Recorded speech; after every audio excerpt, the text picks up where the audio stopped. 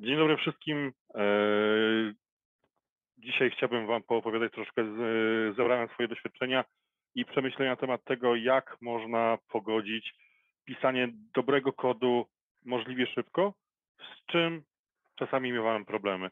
Na początek może parę słów o mnie. E, to jak już na pewno wiecie, mam na imię Michał. E, pracuję ponad 20 lat w branży, mm, nawet 21 niedługo mi stuknie. 18 e, lat jako software developer, e, pozostałą część czasu, ostatni czas to jestem menedżerem zespołu. A zawodowo przede wszystkim e, lubię, jak aplikacje działają i robią to szybko. I staram się też jakby hobbystycznie je, znaczy ma takie jakby prywatne, kręci mnie czynienie aplikacji szybszymi. O tak to.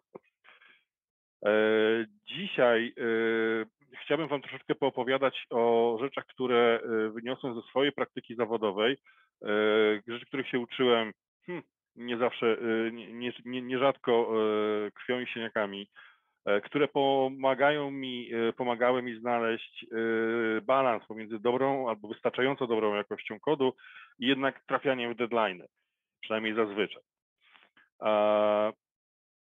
Ponadto y, chciałbym Wam pokazać, dlaczego y, wszystko, co robimy jako software y, deweloperzy, tak naprawdę sprowadza się do pieniędzy. Bardzo często, kiedy mówię o tym w ten sposób, wielu inżynierów mówi, hej, jak to, jakie pieniądze, przecież ja jestem inżynierem, a nie, a nie, a nie w biznesie.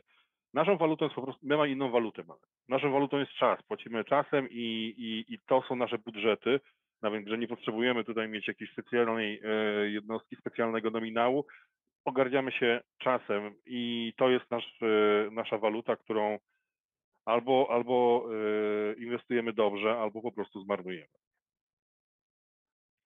A w trakcie naszego spotkania dzisiejszego spróbuję Wam pokazać, jak identyfikuję źródła naszych problemów, i zaproponuję też, y, pokażę jak, jak w moim przypadku sprawdzały, jakie rozwiązania sprawdzały się w moim przypadku. Na końcu spróbujemy sobie to wszystko podsumować. Y, ponieważ mamy dobry slot, ale nadal ograniczony czasowo, więc oczywiście nie będę w stanie y, w każdym miejscu wejść głęboko w niuanse, dlatego potraktujcie też to troszeczkę proszę jako taki zbiór haseł do własnego studiowania, do własnego zgłębiania na własną rękę. Zacznijmy może od największego takiego y, mm, hasła, y, najbardziej chwytliwego hasła, czyli jakość. Jakość to jest taki mm, mityczny jednorożec, y, o którym wszędzie jest pełno informacji, mnóstwo artykułów, Wszyscy wiedzą, że y, jakość jest bardzo ważna. Ale co, jest to, co to tak naprawdę znaczy jakość? Jakość kodu. Z mojego punktu widzenia, z mojej perspektywy, to jest szalenie złożone, to jest szalenie złożone pojęcie. I osadza się tak naprawdę na, na, na, na szczycie wielu innych konceptów, innych idei i co więcej, jakość potrafi się objawiać w bardzo różny sposób, w zależności od tego, e, w jakim kontekście jest używana. Oprócz tego, co większość na pewno wyczuwa, część miała z tym do czynienia, każda techniczna decyzja i każda biznesowa decyzja będzie wpływać na jakość w taki czy w inny sposób i będzie miało to również różne konsekwencje. Dobrą rzeczą jest to, że niektóre y, aspekty jakości, niektóre atrybuty jakości możemy pomierzyć. Inne będą konceptami teoretycznymi, y, na przykład związanymi z mm, projektem aplikacji, projektem implementacji.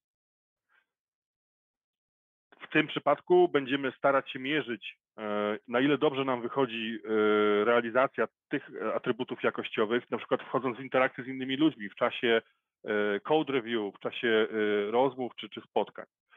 A oznacza to niestety też to, że wytwarzanie wysokojakościowego kodu wymaga po prostu praktyki i to całkiem sporo praktyki. Tutaj nie wystarczy przeczytać dobrą książkę i, i, i po prostu zacząć yy, to i, i już będziemy wiedzieć, już możemy to stosować. Tutaj ciągle potrzebujemy mieć zdolność do wdrażania yy, teoretycznych yy, tez w, czy hipotez w, w, w, różnych komponentach, w różnej, rozwiązując różne problemy, w wielu różnych aplikacjach. Główną powiedzmy taką pomyłką e, jest próba zaaplikowania nowo zdobytej wiedzy e, wszędzie jednocześnie, natychmiast, bez zastanowienia się, gdzie ta wiedza tak naprawdę będzie najlepiej aplikować, gdzie ona będzie najlepiej, e, największe korzyści przynosiła. W konsekwencji, konsekwencją tego podejścia zazwyczaj jest to, że wbijamy się bardzo głęboko w problemy, które nie istniały wcześniej, bo komplikujemy sobie sytuację zamiast ją rozwiązywać. Próbując zrobić kod lepszym, tak naprawdę komplikujemy sobie, bo zaczynamy sobie wprowadzać mnóstwo reguł, e, mnóstwo zasad i to się strasznie wszystko e, zaczyna komplikować. E, I, I, to nas spowalnia w gruncie rzeczy. Zamiast nam to ułatwić i produkować fajniejszy kod, to nie dość, że ten kod wcale nie jest aż jakiś drastycznie ładniejszy, to jeszcze zaczynamy się naprawdę spowalniać sami siebie.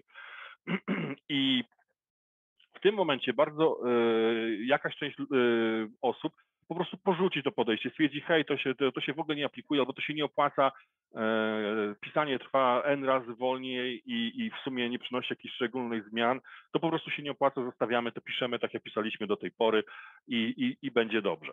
E, więc e, z czym my tak naprawdę walczymy? Walczymy tak naprawdę z tym, że mm, nasz kod powinien, znaczy próbujemy, y, ta, ta walka, którą prowadzimy z jakością, powinna nas doprowadzić do momentu, kiedy nasz kod będzie czytelny dla innych osób. To jest taka bardzo, to jest, to jest truizm i czytaliście o tym tysiące razy na pewno e, i słyszeliście o tym w różnych miejscach tysiące razy, ale to jest strasznie ważna zasada. Kod piszemy dla innych. Nigdy nie piszemy kodu dla siebie. Ten, ten kod nie ma być zrozumiały dla mnie. On ma być zawsze zrozumiały dla innych i to jest y, najważniejsza miara jakościowa, jaką możecie wprowadzić gdziekolwiek. Wszystkie inne są fajne, potrzebne i często wprowadzają dodatkowe e, korzyści, ale ta jedna podstawowa jest wbrew pozorom najłatwiejsza do wprowadzenia i straszliwie ważna. Twój kod musi być czytelny dla innych. I co więcej, ten kod musi, e, twój, twój projekt, e, twój projekt rozwiązania, twój projekt implementacji powinien być czytelny dla tej osoby, bez Twojego udziału. To znaczy ona, ta osoba, która będzie przeglądać Twój kod dzisiaj, albo za dwa miesiące, albo za pół roku, ona powinna po prostu do tego usiąść i to zrozumieć, co, co autor miał na myśli. Dlatego, że za pół roku Ty będziesz dokładnie w pozycji tej osoby i Ty będziesz e, rozkminiać swój własny kod, próbując dojść, co autor miał na myśli. Więc jeżeli piszemy kod dla kogoś, bez skrótów myślowych i założeń, że ok, to wszyscy wiedzą o co chodzi, to w tym momencie e, to jest naprawdę duży, duży strzał do przodu. Yy, I też jest to jednocześnie miara. Jeżeli po pół roku wracasz do kodu, który ktoś, może ty, może ktoś inny napisał, yy, i wracasz do takiego kodu i po prostu sobie go czytasz i mówisz, a okej, okay, kumam, nie? To znaczy, że ten kod jest naprawdę spoko jakości. I to jest naprawdę bardzo fajne, e, fajnie, fajnie pracować jest z takim kodem. E, duża przyjemność, polecam. E, z czym jeszcze walczymy? Walczymy z wymaganiami. E, wymagania, to jest takie paskudne zjawisko, którego inżynierowie niestety zazwyczaj nie mogą kontrolować, bo przychodzą z zewnątrz. Czasami w określonych warunkach możemy wpływać na te wymagania w jakiś sposób, mm, natomiast rzadziej niż byśmy byli skłonni się przyznać do tego, tak naprawdę rozumiemy, dogłębnie rozumiemy, co autor wymagań miał na myśli. Z różnych powodów, to niekoniecznie jest zaraz nasza wina, chociaż czasami też mamy swoje za uszami, bo czynimy założenia i, i, i w ogóle e, kto to wymyślał, to, to, to jest głupie, e, ja wiem lepiej. Więc niestety takie zachowania też nas czasami e, obarczają i, i to się zdarza. Taka lekka skromność i jest wymagana w tym momencie, ona pomaga, wbrew pozorom pomaga.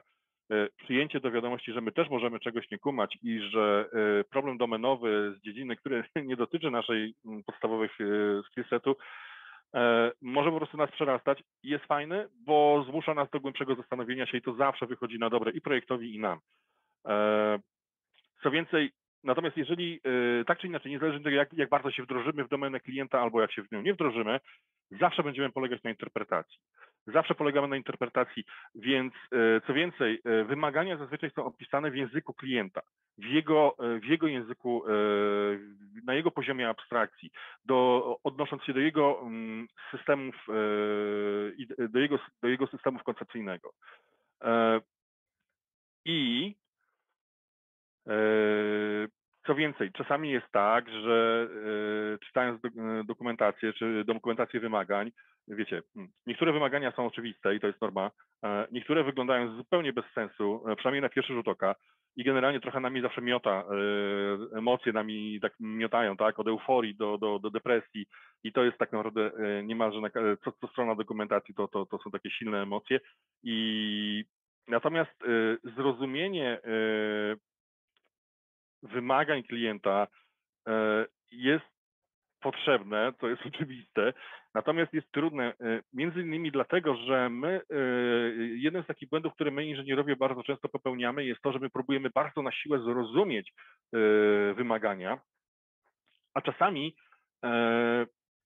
odpowiedzią na, na, na odpowiedzi ujawniają się w momencie, gdy przestaniemy czytać tekst dosłownie, ale zaczniemy sobie, y, zaczniemy, y, podejmiemy próbę zrozumienia, dlaczego klient tego potrzebuje.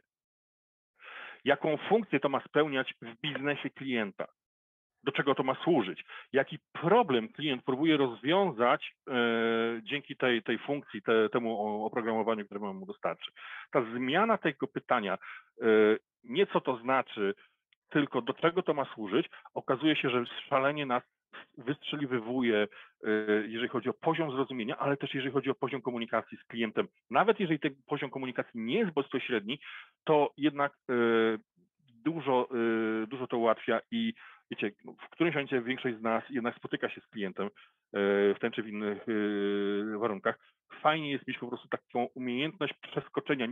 Wiecie, no, nikt z nas nie będzie teraz uczył się medycyny, żeby zrobić oprogramowanie do, do przychodni zdrowia, ale umiejętność zadawania innych pytań nakierowanych na to, żeby zrozumieć potrzeby klienta, powoduje, że on mówi swoimi słowami, ale my w momencie w tym odpowiadamy, e, zaczynamy rozumieć nie co mamy zrobić, tylko do czego on może to służyć. I nagle się okazuje, że jest miejsce na naszą kreatywność, na naszą innowację, a jednocześnie też dostarczamy to, czego klient tak naprawdę potrzebował. I to jest naprawdę fajne uczucie. Pomijając wszystko inne, korzyści biznesowe, PR-owe, jakiekolwiek, to jest mega fajne uczucie, kiedy naprawdę trafiamy e, z dostarczonym e, softem w punkt. Natomiast prawda jest jeszcze taka, że mm, większość z nas, y, i to całkiem spora, jest nerdami i, i generalnie y, lubimy nowe, nowe gadżety, lubimy się bawić nowymi rzeczami, to jest taki nerdowski fan. Mm, natomiast bardzo często niestety efektem takich zabaw jest coś, co się y, w języku Szekspira nazywa overengineering, a mówiąc po ludzku przesada. Zamiast czegoś prostego i oczekiwanego, co powinniśmy byli dostarczyć, dostarczamy rozwiązanie oparte o najnowsze dostępne e, technologie, narzędzia, e, o których czytaliśmy w zeszłym tygodniu. E, często próbujemy rozwiązywać hipotetyczne problemy i najgorsze z tego wszystkiego jest to, że zazwyczaj to, co my dostarczamy, w ogóle nie wnosi żadnej wartości dla klienta. A co gorsza, wprowadzając rzeczy potocznie nazywane przydasiami, od słowa przyda się, e, albo to jest fajne, albo to będzie, to jest super e, podejście. E, wprowadzamy zupełnie zbędną, niezamówioną złożoność do systemu.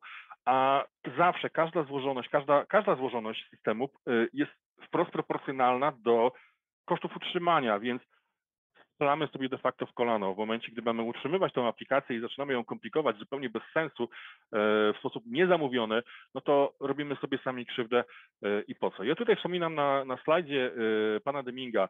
Pan Deming był autorem takiego konceptu, który się nazywa cyklem Deminga. Mm, to jest on zaproponował wiele innych rzeczy, to był gość w teorii programowania bardzo, bardzo cenny, bardzo e, ważny, natomiast y, dzisiaj odwołam e, e, dwa słowa tylko o jego cyklu. Cykl Deminga to jest coś, co na przykład wykorzystuje Lean Manufacturing, Toyota Production System również odwołuje się do tego konceptu. chronologicznie pomyliłem. Toyota była pierwsza i z tego wywodzi się Lean. Obie w ten czy inny sposób implementują cykl Deminga. Cykl Deminga oryginalnie, w oryginalnej koncepcji sprowadza się do tego, że robimy małą funkcjonalność, naprawdę małą funkcjonalność, eee, oddajemy ją do testów, dostajemy feedback, studiujemy ten feedback, analizując zarówno sukces, jak i porażkę i później ewentualnie wdrażamy kolejne ulepszenia i tak dalej. I ten cykl jest nieskończony, eee, w założeniu jest nieskończony i niestety my dokładnie to robimy czasami, wprowadzając, ja tu jeszcze, ale dzisiaj mam lepszy pomysł, to nie, ja tylko tutaj poprawię i tak nieskończoność i zamiast funkcja yy, która miała być dostarczona w dwa dni, trwa nagle trzy dni, bo my mamy tą nieskończoną część iteracji, gdzie ciągle coś podkręcamy, ciągle coś wpadamy, a tutaj jeszcze można inaczej, a ja wyciągnę tam y, coverage na więcej, a w ogóle, a, a zgaszę wszystkie warningi y, litera, cokolwiek tam jeszcze jest potrzebne. Y, więc niestety tutaj trzeba sobie po prostu w tym momencie powiedzieć, że to jest, już jest ok, już naprawdę wystarczy. E, bo my inżynierowie radośnie wpadamy w tę pułapkę. E, częściej niż byśmy chcieli do tego, znowu, niż, chcielibyśmy się e, do tego przyznać. Mm, polerujemy ten kodzik do, do końca. Eee, jesteśmy zachwyceni, kiedy możemy przetestować nowe podejście, bo wczoraj na gdzieś tam przeczytałem jakiś e, nowy koncept, tutaj można taki temat ugryźć troszeczkę inaczej. To się nada u mnie w zespole. Ja tu mam już prawie skończony task, ale to, to tylko godzinka, dwie, od góra 20 godzinek i będzie zrefaktorowane. I niestety robimy sobie taki sami, sobie na własną rękę robimy takie, taką krzywdę. Eee, ale idźmy dalej. Eee, co dalej? Inną, inną przeszkodą, która nam utrudnia życie i utrudnia dostarczanie e, dobrego softu szybko, są e, metodologie zwinne. I teraz, żeby nie było, e, disclaimer, ja naprawdę uwielbiam metodologie zwinne i jestem fanem i stosuję metodologie zwinne. Mm, ja po prostu widziałem parę razy, kiedy metodologia zwinna zrobiła ludziom krzywdę i jakby yy, uważam, że widzę też, że teraz po tych latach pracy widzę też po prostu, jakie są wady metodologii zwinnych, bo niestety też są. Największy problem, jaki e, z mojego punktu widzenia metodologii zwinne e, potrafią wprowadzić, nie, że wprowadzają same z definicji, tylko potrafią wprowadzić, jest to, że utrudniają e, widok całego dużego obrazka. My widzimy sprint, I, I, wiemy, że to mamy dostarczyć na demo, ale projekt, który trwa 3-4 miesiące, bo jest duży, złożony i tak dalej, czasami gubimy duży obrazek. I jeżeli ktoś tego naprawdę profesjonalnie nie kontroluje i my wszyscy nie jesteśmy świadomi, na bieżąco uświadamiani, jak, gdzie my tak naprawdę idziemy, to gdzieś, wiecie, po trzecim, czwartym, piątym, ósmym sprincie w zasadzie tracimy kierunek. Y, to jest no, tak jak, jak z królem Julianem było, tak? Szybciej, szybciej, zanim ktoś się zorientuje, że to jest bez sensu. I takie uczucie zaczyna nam w którymś momencie towarzyszyć. E, więc e, tutaj potrzebujemy tak naprawdę dobrego, e, dobrego zespołu, który ma tego świadomość, po prostu ma tego świadomość i sam na własną rękę sobie przypomina o tym, że mm, nie wystarczy znać moje taski na, na, na ten tydzień, że wiemy, gdzie idziemy tak naprawdę, umiemy odpowiedzieć na pytanie, gdzie my idziemy yy, i dzięki temu jesteśmy w stanie dostarczyć dokładnie ten produkt, który był zamówiony, bo nigdzie nie skręciliśmy po drodze, mimo tego, że zrobiliśmy 10-12 sprintów, to jednak yy, trafiliśmy mm, bullseye i, i jesteśmy tam, gdzie powinniśmy być. E, dobra, e, pogadaliśmy troszeczkę o problemach, które, na które, mm, które moim zdaniem e, nam utrudniają życie. Pogadajmy też troszeczkę o mm, rozwiązaniach, jak do tego możemy, jak możemy to ugryźć. Zacznijmy rozwiązywać te problemy powolutku. Po pierwsze, staram się promować taką ideę, żeby myśleć jak inżynier. Inżynier to nie jest tytuł e, zawodowy, który się przynosi z tej czy z innej uczelni. Inżynier to jest mindset. E, metodyczny, logiczny, analityczny, e, ale też taki, który potrafi zrobić syntezę. Chłodny, taki, który potrafi się ochłodzić i skupia się na rozwiązaniu, który ceni wiedzę ponad interpretację, który wierzy dano, danym, a nie przekonaniom. Niektórzy ludzie są do tego predysponowani, e, i, i, i, ale z, uważam i jestem w stanie to udowodnić, że każdy jest w stanie się tego nauczyć. E, to jest kwestia koncentracji, uważności, e, pewnej samodyscypliny, zwłaszcza na początku, bo to jest tak naprawdę przypomina jazdę na rowerku. Po pewnym czasie to wchodzi w krew i zaczynasz tak funkcjonować, nie spadasz już z tego rowerka. Na początku to ok, wymaga trochę e, skupienia i, i trochę zacięcia, żeby postępować w pewien konkretny sposób. Natomiast co jest ważne, trzeba po prostu sobie dać czas. To nie są umiejętności, które się wykształcają E, to mogą być umiejętności, tak jak mówię, część ma predyspozycję, ale e, nauczyć się tego mogą wszyscy. Więc jeżeli to są umiejętności, które musimy nabyć, potrzebujemy czasu, żeby, e, żeby, żeby je nabyć i, i to jest spoko. Po prostu to, to zróbmy w ten sposób i pomagajmy sobie nawzajem w zespole, tak? Zwracajmy innym uwagę, słuchaj, nie emocjonuj się, spokojnie, skupmy się na rozwiązaniu. Nieważne, kto to skrzanił, to już jest skrzanione i teraz po prostu naszym zadaniem jest to odkręcić, a nie patrzeć, komu, komu przyłożyć deską, tak? Więc to są takie, wiecie, czasami wyhamowywanie się nawzajem, pomaganie sobie. Nagle się okazuje, że taki trening zespołowy, zwłaszcza zespołowy, naprawdę przynosi fenomenalne efekty. Nagle zaczynamy się pilnować i zaczynamy być e, bardzo precyzyjni w tym, co robimy. Mm, druga rzecz, która e, często nam e, robi krzywdę i której mm, osobiście sugerowałbym unikać, to jest zbyt wczesna optymalizacja. To jest e, zbyt wczesna optymalizacja, to są takie momenty właśnie, jak mówiłem, że jeszcze mamy nieskończony feature, ale już go poprawiamy, już go optymalizujemy. Gdzie, bo tutaj jeszcze można coś podkręcić, tutaj nie mamy w zasadzie żadnych danych, które świadczyłyby o tym, że ta mm, optymalizacja jest konieczna. Kod przechodzi jakościowe, testy jakościowe, E, lintery są cicho, e, unit testy są na zielono, e, wszystko jest ok, a, a, jednak tam próbujemy coś podkręcać. Po co? Dlaczego? Jeżeli nie macie danych, że naprawdę ten kod wymaga jakiegoś konkretnego ulepszenia, bo na przykład performuje tragicznie i zostało to udowodnione na przykład na poziomie testów, że performuje tragicznie, to nie ruszajcie, po prostu tego nie ruszajcie.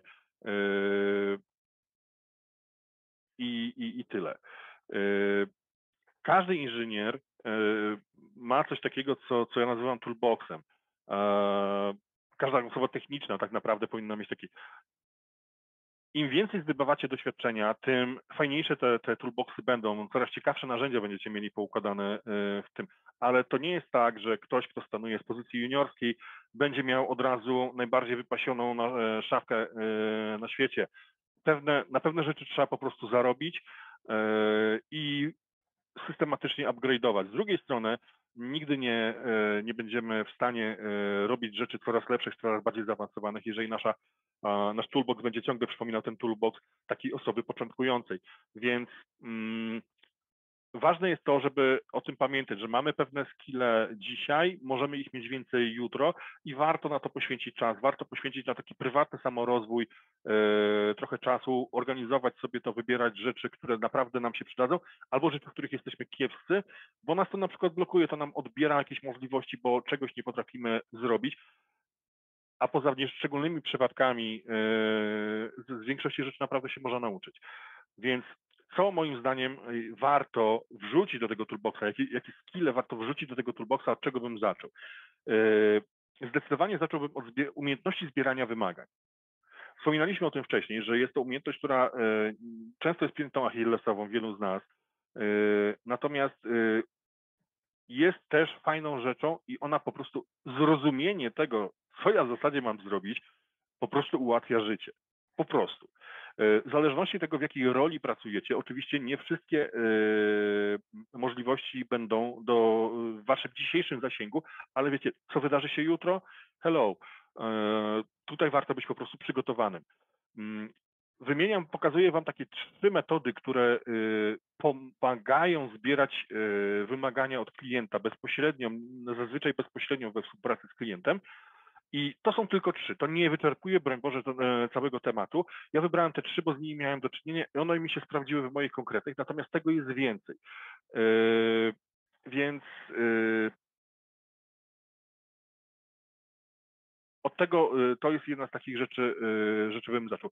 Co więcej, tutaj są wymienione trzy i zdecydowanie chciałbym przestrzec przed wartościowaniem, która metoda jest lepsza, a która jest mniej warta dlatego że y, sama implementacja y, event stormingu, gdzie potrzebujemy być y, u klienta, pracować z całym zespołem u klienta, jednocześnie daje inne możliwości, ale też nie zawsze jest po prostu fizycznie możliwa z różnych powodów i wtedy będziemy ratować się innymi metodykami, więc nie wartościujcie metodyk pod kątem tego, która jest fajniejsza, bardziej fancy, bardziej jazzy i tak dalej, tylko zapoznajcie się z kilkoma różnymi metodykami, które pomagają zbierać wymagania i spisywać wymagania, po to, żebyście w danych zastanych warunkach mogli po prostu sobie poradzić najbardziej optymalnie.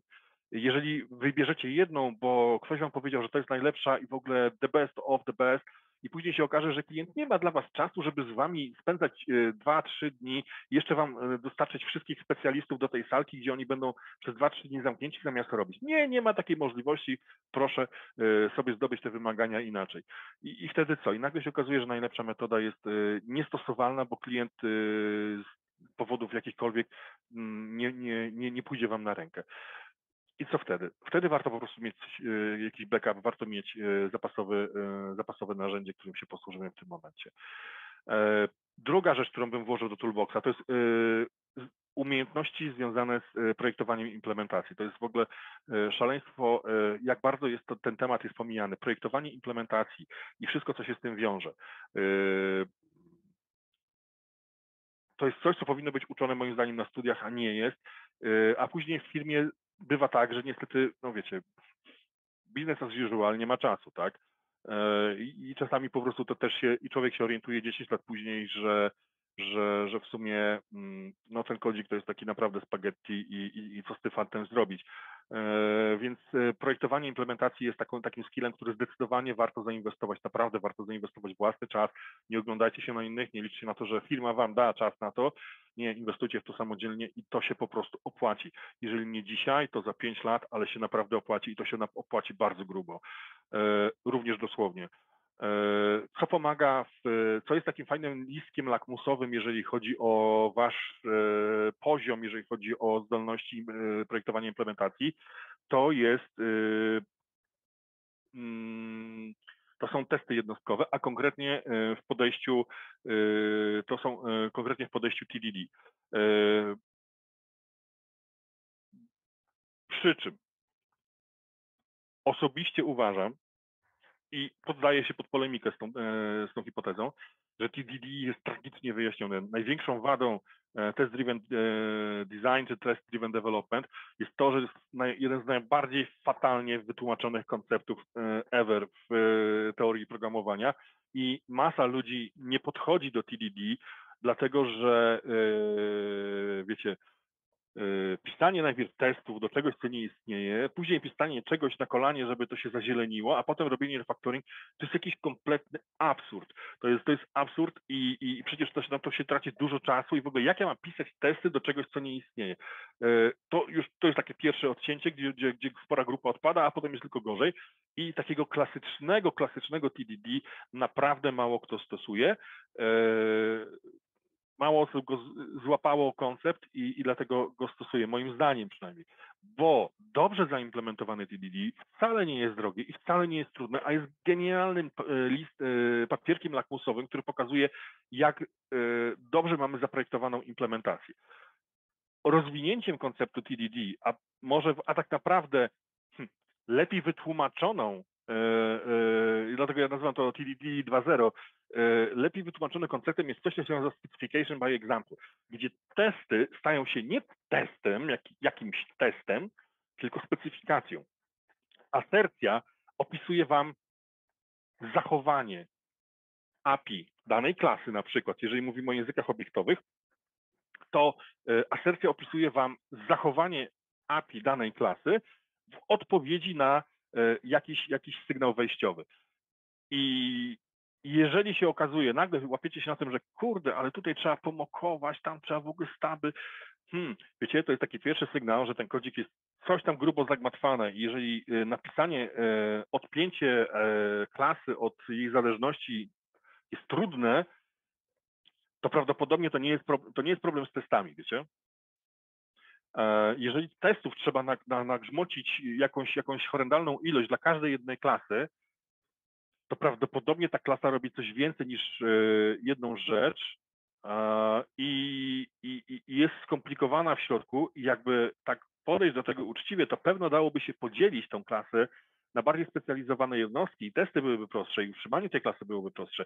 Dlatego, testem, dlatego ja uwielbiam właśnie specification e, jako example czy, czy, czy TDD jako, traktować jako listek lakmusowy. Poza tym podejście e, specyfikowania nagle wyjaśnia sprawę. Przecież to, to nie muszą być testy, to niech to będzie specyfikacja. Ta asercja pokazuje mi, co ja chcę uzyskać na wyjściu, czyli przestajmy to nazywać testami, nazwijmy to specyfikacją i nagle tada, wszystko się robi jasne i czytelne i działa, i naprawdę działa. Co więcej, zabawa polega na tym, że nie potrzebujecie do tego żadnych nowych frameworków unit testowych. To są te same e, frameworki unit testowe, których korzystacie do tej pory, mam nadzieję. E, I, e, i to wszystko tryka out of the box. Więc pomyślcie o tym też troszeczkę w ten sposób. Dajcie szansę tej koncepcji jeszcze raz, jeżeli z tego nie korzystacie.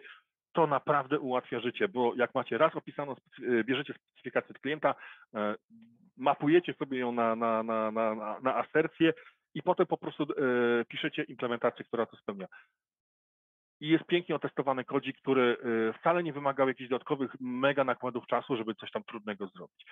Mm, lubię też osobiście stosować i promować taki koncept, który się nazywa Dry, ale w tym ujęciu, które proponuje tutaj e, Krzysztof e, Filemow, e, który w swoim artykule Why is your code dry enough? zwrócił uwagę na jedną rzecz, że dry jako koncept, don't repeat yourself, nie chodzi tak naprawdę o to, żeby nie powtarzać kawałków kodu, co najczęściej próbujemy robić, w ten sposób do tego podchodzić, tylko żeby nie powtarzać konceptów domenowych w jego podejściu dry tak naprawdę odpowiada literce S w słowie solid, o którym też będę mówił, czyli single responsibility. Jeżeli mamy jedną klasę, jed, jeden komponent, który zajmuje się komunikacją, e, zarządzaniem plikami, jeden komponent, który komunikuje nas ze źródłami danych, jeden komponent, który robi coś tam i nie ma, nie ma żadnych skrótów myślowych. Logika biznesowa uczciwie i w sposób zdyscyplinowany wykorzystuje konkretne komponenty do robienia konkretnych rzeczy, a nie, że robią jakieś skróty, bo ja tylko sobie tutaj taki pliczek zapiszę. Nie, masz, masz cały komponent, który zarządza file systemem i korzystasz z tego systemu po to, żeby to było spójne. I nagle ten kod się paradoksalnie upraszcza bo wiadomo, gdzie czego szukać. Jak coś się zrypało, to wiemy, w jakim komponencie szukać.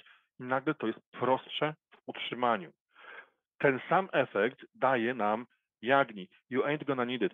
E, you ain't gonna need it e, pozostaje w ścisłej e, mm, jak to powiedzieć, udało mi to słowo, w ścisłej symbiozie z testami jednostkowymi, a właśnie konkretnie z tym podejściem TDD czy Specification by Example. Dlaczego? Jeżeli macie dobrze zastosowane Jagni, to macie pokrycie kodu 100%. Tak po prostu.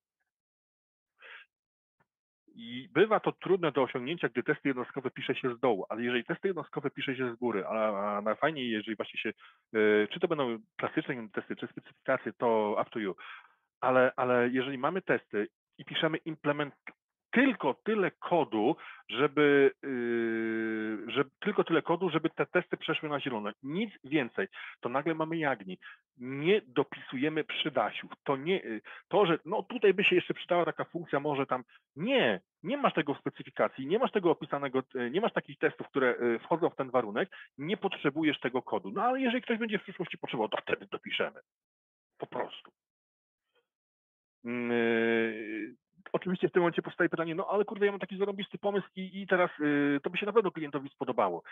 Okej, okay, to zrób demo, zrób małą funkcjonalność, pójdziemy yy, pod koniec sprintu do, do klienta, pokażemy mu twoje demo też. Jak klepnie, to wtedy to zrobimy na pełnej funkcjonalności. Na razie złóż tam na tertytkach, ale najpierw dogadajmy się z klientem, czy on jest gotów ponieść koszty tego w ogóle, albo zrób, przygotuj jakąś, jakiś, jakiś jakąś, nie wiem, jeden slajd na krzyż, który pokazuje, jaką wartość biznesową wnosi twoja zmiana tutaj to tutaj po prostu e, sieje się trup programistyczny, jak pada hasło poda, pokaż mi wartość biznesową, ale jeżeli programista nie rozumie, jaką wartość biznesową wnosi program, który on robi, w sensie e, jego decyzje e, projektowe, są, jaki wnoszą koszt lub wartość, to wiecie, jest, jest mały ząg. Natomiast bo też znowu wprowadzanie y, fajnych funkcjonalności, ale one muszą być dla klienta fajne, one, one jemu się muszą przydać, nie tobie, to nie musi mnie cieszyć, to musi się klienta, klienta musi to cieszyć, jemu musi się przydać. Więc by default nie piszemy rzeczy, których Nikt, o, nikt, y, o, o nikt nie poprosił. Jeżeli ci się wydaje, że coś się przyda, to na pewno pojawi się issue w backtrackerze, które będzie zamawiało taką funkcjonalność. Jeżeli takiej issue się nie pojawi, to znaczy nikt tego nie potrzebował. E, jeżeli nadal uważasz, że tego potrzebujesz, to zgłoś to po prostu. Niech ta informacja trafi do klienta, niech to klient zadecyduje, bo on koniec końców musi za to zapłacić. Więc e, zostawiamy takie decyzje, e, wychodźmy z innowacjami, ale w sposób usystematyzowany, metodyczny i no, po kolei, tak? Najpierw to jest jednak decyzja klienta, a nie nasza, czy można coś wprowadzić, czy nie. Wreszcie, pamiętacie o tym, co mówił manifest Agile powinniśmy się skupiać i optymalizować rzeczy, które przynoszą realną wartość do systemu. Te rzeczy optymalizujemy, nad tymi się skupiamy, o te dbamy. Rzeczy, to jest najbardziej istotne. Rzeczy, które są istotne dla biznesu, ale nie wprowadzają wartości, takie jak właśnie jak tu macie przykłady na, na slajdzie, te aktywności powinniśmy ścinać do minimum, jeżeli chodzi o koszt, który ponosimy, żeby je zrealizować. Całą resztę po prostu wywalamy z backloga. Po prostu. E, jeżeli nie potrafimy udowodnić wartości biznesowej, to minimum kosztów, minimum effort. Jeżeli e, to jest potrzebne, tak jak chociażby procesy legalowe, ok, trzeba to zrobić, ale minimalnym kosztem, a nie rozdmuchiwać nie wiadomo jak bardzo procedury. Cała reszta idzie po prostu do kosza i nagle się okazuje, że projekt jest wcale nie tak skomplikowany, tylko sami sobie robimy pod górkę. Dobra, mm, e, moje opus moderandi e, Solid. Solid jest, wspominałem już wcześniej i faktycznie jest to jedna z rzeczy, które uwielbiam, które kocham i które promuję jak tylko potrafię. To jest jedna rzecz, która naprawdę potrafi pomóc realizować dobrej jakościowo kod, ale jest trudny ma bardzo wysoki koszt wejścia i trzeba naprawdę sporo czasu i uczciwej pracy, pokornej, żeby sobie wdrożyć e, dobre nawyki i dobrze implementować Solid. Po prostu to nie jest łatwy koncept. Paradoksalnie to nie jest łatwy koncept. To jest koncept, który mówi o prostocie i jest szalenie trudno go zaimplementować prawidłowo, zrozumieć, trzeba popełnić masę błędów, e, porobić parę głupich pomysłów i później się z nich wygrzebywać, żeby do, się po prostu z tym otrzaskać. Ale naprawdę nie bójcie się tego i e, dajcie temu szansę. To jest long term project, to nie jest coś, co wam da korzyści w przyszłym tygodniu, to jest coś, co będziecie ćwiczyć e, przez pół roku, przez rok, i, i, i, ciągle będziecie uważali, że tam się jeszcze da podkręcić własne skille, to jest fajny efekt. Dajcie temu szansę, pracujcie nad tym, róbcie te błędy, ale uczcie się na nich i próbujcie jeszcze raz, jeszcze raz, jeszcze raz. W końcu to zatrybi i wpadniecie we właściwy rytm. Rozwinięciem y, Solida jest clean. To jest ten sam autor, nawiasem mówiąc oczywiście, czyli Robert C. Martin. Mm, natomiast clean code, moim zdaniem, y, w mojej opinii, nie da się prawidłowo zaimplementować clean code'u, konceptu jako takiego, bez zrozumienia solidu. Dlatego ta kolejność jest taka mega istotna. Zaczynamy od podstaw. Podstawy to jest solid. Te wcześniejsze dry, jagni, solid, to są podstawy, to są fundamenty. Na tym możemy budować wyższą warstwę abstrakcji, czyli clean code. Clean code paradoksalnie jest oczywiście e, jest zestawem jakichś zaleceń, pomysłów, idei. To jest bardzo ważne, żeby zrozumieć ideę clean code'u, a nie sztywno przepisywać to, co Martin napisał w książce, tylko skumać o co mu tak naprawdę chodziło. Chodziło mu o to, żeby ten kod był czytelny i maksymalnie prosty i yy, krótki. Yy, ale bez przesady. Yy, nie, nie, wszystkie skróty są, są na miejscu i teraz zrozumieć, gdzie można zrobić skrót, gdzie, gdzie powinien być mniej kodu, a gdzie jednak trzeba być bardziej deskryptywnym to są takie rzeczy, które właśnie z clean codem są bardzo potrzebne i zrozumienie tych wcześniejszych trzech akronimów e, bardzo, bardzo, bardzo ułatwia implementację clean codu zrozumienie o co w tym tak naprawdę chodzi, bo to jest całkiem duży projekt e, personalny, żeby nauczyć się dobrze to implementować, ale to też paradoksalnie przyspiesza naszą robotę, bo piszemy kodzik raz i piszemy go czytelnie, a jeżeli coś jest e, nie do końca ok, to widać to już, że tak powiem, po samym projekcie, po tym jak piszemy kod, że tutaj coś, coś dziwnego się dzieje. Trudno mi nazwać tą funkcję, bo ona robi, aha, bo ona nie robi jednej rzeczy, dlatego mi trudno nazwać tą funkcję i wiecie, to się łapiemy na takich rzeczach. E, takie właśnie stosujemy sobie nagle miary. E, robimy to całkiem intuicyjnie i to wszystko tryka. Jeżeli kod jest ładnie opisany, jest czysty, według konceptu Martina czysty, to wiecie, jest łatwiej go utrzymać, bo wracamy do tego e, przykładu, że po pół roku nie pamiętamy o co w tym chodziło i musimy ten kod nauczyć się go jeszcze raz. Jeżeli jest ładnie napisany, czytamy go szybciej. Najzwyczajniej w świecie czytamy go szybciej, tracimy mniej czasu żeby wejść do niego ponownie. E, projekt, projektowanie architektury to jest jakby jeszcze kolejny wyższy poziom e, skilli, które warto byłoby mieć. E, I teraz, jest, I teraz się robi zabawnie, dlatego że oczywiście jak będziecie przeglądać architekturę, traficie na martinowską, czystą architekturę, która wywodzi się z heksagonalnej, która wywodzi się z port adapters, wiecie co, tak naprawdę to nie chodzi o to, żeby to była jakaś fancy nazwa i żeby to była najbardziej nowoczesna, nowoczesny koncept z najnowszej książki. Czy to będzie CQRS, czy to będzie Clean Architecture, czy cokolwiek innego. Ważne jest to, żeby ta architektura paradoksalnie spełniała solid. I w tym momencie nie ma żadnego znaczenia, jak ona będzie miała e, supermodną nazwę. Ona ma być dopasowana do waszego projektu, jeżeli chodzi o rozmach i jeżeli chodzi o możliwości. I, i fajnie, naprawdę fajnie Y, do projektu architektury implementować ten taki zupełnie bazowy, fundamentalny koncept, jakim jest na przykład Solid, tak? Czyli specjalizacja pewnych rzeczy, specjalizacja komponentów, upraszczanie przepływów, e, specjalizacja interfejsów e, i tak dalej, i tak dalej. I nagle w tym momencie to się staje najważniejsze. Nie to, jak to się nazywa i czy wszystkie e, bloczki i, i, i komponenty są poukładane tak, jak pan Martin kazał, tylko czy to ma sens, czy to ma sens, czy to się da rozwijać i czy projekt na tym skorzysta, czy, czy będzie dla niego obciążeniem taka, wiecie, fancy architektura, tak? I to jest tak naprawdę wszystko w tym momencie. Refaktoring. Refaktoring jest też fajnym e, pojęciem, dlatego że mm, bardzo często niestety traktujemy refaktoring jako akcję naprawczą, a to nie do końca tak funkcjonuje. Refaktoring to jest coś, co stosujemy, e, wiecie, mm, zasadniczo to jest proces towarzyszący. Według e, teorii przynajmniej, która, którą Fowler głosi, refaktoring jest procesem towarzyszącym. Co więcej, refaktor, ale refaktoring podejmujemy tak naprawdę y, tylko i wyłącznie według jednego, jedynego kryterium. I tym kryterium jest kasa.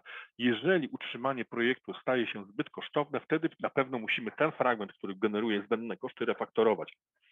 To jest jedno z najważniejszych kryteriów e, wyboru, co tak naprawdę powinniśmy refaktorować. Wiecie, kod się starzeje, no choćbyśmy nie wiem, jak my jakbyśmy kombinowali, kod się starzeje, tule się starzeją, trzeba czasami unowocześniać pewne rzeczy albo właśnie po prostu e, umarli wszyscy dotychczasowi programiści i mm, musimy coś z tym fantem zrobić, e, musimy e, dostosować kod do, do naszych umiejętności, naszej, naszej wiedzy. Więc kasa tutaj tak naprawdę, miejsce, miejsce, które wybierzemy do refaktoringu powinny być wskazane przez koszt, który ponosimy, żeby utrzymać to miejsce. I to jest całkiem fajne, fajna sprawa. Refactoring is not an action, it is continuous process o tym Wam wspominałem. E, powoli zbliżamy się do końca i, i, i za chwilę mi wyrwą kabel internetu, e, organizatorzy pewno, więc o tym zdążyłem powiedzieć wszystkim na jednym slajdzie, dlatego tak to przeskakuję. I teraz na tym slajdzie musimy się zatrzymać. Na tym slajdzie się zatrzymamy, dlatego tu jest jedna ważna rzecz. Refactoring to nie jest proces optymalizacji. Optymalizacja to jest zupełnie inna akcja. I tu podkreślam słowo akcja. Optymalizacja to jest wtedy, kiedy nam się aplikacja dławi, performanceowo na przykład, i musimy zrobić profiling musimy na, y, i musimy usunąć bottlenecka. To jest zupełnie inny sposób podejścia do naprawiania aplikacji i mamy przede wszystkim inne cele. Refactoring generalnie e, z założenia, z definicji znowu z, e, według teorii Fowlera powinien komponent, który e, refaktorujemy, powinien być wyjęty i włożony w to nowe, ale API zostaje nienaruszone. W przypadku optymalizacji, jeżeli kryterium performanceowe nie jest spełnione inaczej i trzeba po prostu iść na całość, to się idzie na całość. Tam są zupełnie inne kryteria odbioru i, yy, i celu. Więc to jest bardzo ważne, żeby te dwie rzeczy bardzo mocno odgraniczać. I optymalizacja musi być akcją. To powinno być jednorazowy strzał, minimalna ilość rzeczy zmieniona i oddajemy to na produkcję natychmiast. Refactoring może być po prostu procesem, który się toczy. Dzisiaj poprawimy sobie jakąś jedną aplikację, e, jeden komponencik i jutro takąś klasę i tak dalej, i tak dalej. Drobnymi kroczkami coś tam ciągle usprawniamy, ale to są naprawdę minimalne koszty, które ponosimy na stałe, delikatne usprawnianie.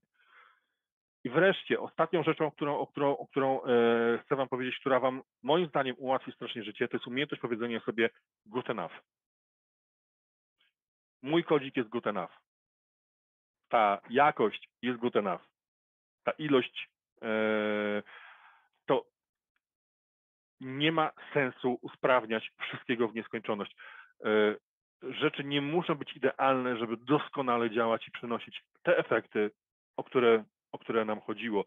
E, to, że ktoś ma lepszy pomysł, nie znaczy, że musimy go implementować dzisiaj, teraz, zaraz. Jeżeli mój kod spełnia wszystkie wymagania funkcjonalne i performance'owe, jest good enough. Jeżeli przychodzi jeszcze testy i lintery i w ogóle wszystko inne, jest good enough. Serio. Zostawcie, pchajcie to na produkcję. A, idziemy do podsumowania w takim razie. Yy, więc mamy tak. Yy, takie rzeczy jak jakość, jak yy, problemy z wymaganiami, jak przesadne rozbudowywanie aplikacji, jeżeli to wpływa na komfort Twojej pracy, E, na, na, e, na to, jak ci się pracuje, jak, e, jak, to, jak, jak trudno jest ci dostarczyć dobry jakościowo kod na czas. Pamiętajmy o tym, że jako inżynierowie powinniśmy zawsze polegać na, na wiedzy, nigdy, ale to nigdy na przeczuciach, na odczuciach, na mm, wydaje mi się. Albo mam wiedzę i wtedy robię to, co ma sens, albo mam przeczucie i, i tak naprawdę strzelam w ciemno i tyle. Mamy naprawdę dużo, e, ogromną ilość narzędzi, która mm, może nam pomóc nasze, e, osiągnąć nasze cele jakościowe na przykład bardzo efektywnie, e, metodologie i tak dalej. Naprawdę warto poinwestować czas, żeby je zrozumieć na własną rękę, poinwestować nawet ten czas, żeby to zrozumieć i, i nauczyć się pewnych rzeczy, takich chociażby jak zrozumienie intencji klienta, nie jego wymagań, tylko jego intencji. I zawsze, zawsze, ale to zawsze, najpierw projektujecie implementację a potem dopiero siadacie do klawiatury. E, te, te cztery klucze mogą Was doprowadzić do sukcesu i mm, jeśli dacie im szansę, jeżeli nauczycie się je wdrażać, stosować, e, naprawdę, naprawdę Wam bardzo, bardzo pomogą. E, pamiętajcie jednak o tym, żeby używać tych kluczy mądrze. To nie jest tak, że to są uniwersalne rozwiązania i wystarczy znać jedno podejście i będzie wszystko grało upewniajcie się zawsze, że przede wszystkim rozumiecie potrzeby klienta. Jakkolwiek do tego zrozumienia mielibyście nie dojść, jakąkolwiek podejściem, metodologią, sztuczką, to jest, cel jest ważny. Nieważne jak dojdziecie, tylko żebyście zrozumieli, o co klientowi chodzi. Yy, używajcie takich narzędzi, które są zgodne z waszymi potrzebami. Nie potrzebujecie armaty na wróbli. To jest ten pro, prosty level, że mamy, no, używamy naprawdę super fancy yy, metodyk, a tu w zasadzie czasami po prostu wy, wykonać telefon. Wiecie, no mm, tak samo jeżeli chodzi o stosowanie pewnych implementacji. E, niczego nie robimy bez planu. Zawsze najpierw planujemy, a potem wykonujemy to raz, a dobrze. To jest masa oszczędności czasu. Ja wiem, że to brzmi strasznie głupio oczywiście, ale tak jest, że zamiast poprawiać trzy razy, zróbmy to raz, a dobrze, ale żeby zrobić to raz, a dobrze, trzeba się zastanowić. I okazuje się, że te pół godziny na kawie, na spacerze, żeby się zastanowić, zaprojektować to podejście, czasami się opłaca bardziej niż trzy, cztery razy e, poprawki, bo wiecie, tutaj coś jeszcze by się przydało. Nie? E, co więcej, e, uczcie się, nigdy nie jesteście w stanie się nauczyć wszystkiego naraz. To jest zawsze, nauka to jest proces rozpisany na długi czas i będzie Wam towarzyszył. Mam nadzieję, chciałbym, proszę, niech Wam yy, nauka towarzyszy przez całe życie zawodowe. Uczcie się codziennie, uczcie się każdego roku, będziecie senior, principal, fellow architektami, yy, najlepszymi na świecie i tak pamiętajcie o tym, żeby się czegoś nowego nauczyć w tym tygodniu. I to jest ten nawyk, jest szalenie ważny i on naprawdę Wam ułatwi więcej niż wszystkie moje prezentacje, wszystkie moje mądrości. Ten nawyk samokształtu i samoinwestycji jest tutaj ważne. Uczcie się po kolei, nie nauczycie się wszystkiego na raz, więc uczcie się po kolei. Jeden, step, jeden skill w danym czasie. Na ten kwartał, na ten miesiąc, na te dwa tygodnie planuję nauczyć się tego i tego się uczę. Ja wiem, że tam jest jeszcze tysiąc potrzebnych rzeczy, które też są fajne albo są mi potrzebne do pracy, ale teraz uczę się tego i na tym się skupiam, temu poświęcam energię i docieram do tego celu szybciej dzięki temu. Bardziej efektywnie mogę pójść w głąb, a nie tylko powierzchownie miziać 30 e, tematów jednocześnie, tylko jeden temat, skupienie, strzał i umiem, rozumiem, i to rozumienie też jest ważne, nie tylko wykuć na blachę teorię, ale jeszcze rozumieć ją. E, na to też potrzebujecie czasu. Mm, uczcie się na własnych błędach, uczcie się na cudzych błędach, na, na tym najlepiej. Tak? Życzę Wam, żebyście się uczyli na cudzych błędach, ale jak Wam też się noga powinie, spoko, świat się nie kończy, e, uczcie się na tym błędu, po prostu nie, e, każdy ma prawo do błędu, ale głupio jest popełnić ten błąd sam dwa razy. Hmm? więc do tego to bym sprowadził. E, I coś, co e, jest zawsze e, dyskusyjne, uczcie się soft skilli.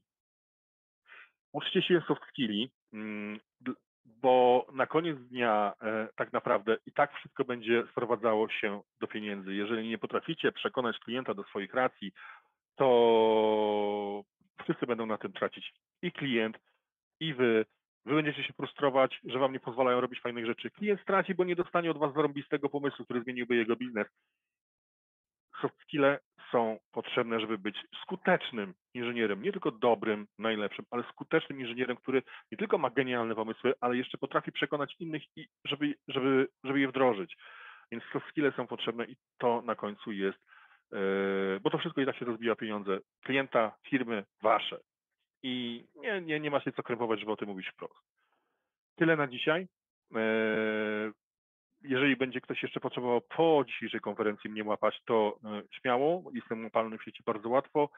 E, I tu jest QR code, który też prowadzi do tego samego miejsca, jakby ktoś e, wolał tak po prostu z ekranu wstrzelić. Słuchajcie, z mojej strony to jest wszystko. Dzięki serdeczne za, za to, że byliście, że, że posłuchaliście. I oddaję głos do studia.